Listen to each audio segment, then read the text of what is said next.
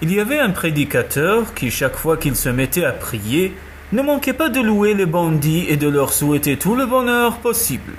Il levait les mains au ciel en disant Ô Seigneur, offre ta miséricorde aux calomniateurs, aux révoltés au cœur endurci, à ceux qui se moquent des gens de bien et aux idolâtres. Il terminait ainsi sa harangue sans souhaiter le moindre bien aux hommes justes et purs. Un jour, ses auditeurs lui dirent Ce n'est guère la coutume de prier ainsi. Tous ces bons vœux adressés aux mauvaises gens ne seront pas exaucés.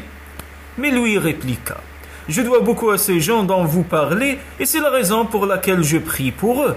Ils m'ont tant torturé et tant causé de tort qu'ils m'ont guidé vers le bien. Chaque fois que j'ai été attiré par les choses de ce monde, ils m'ont frappé.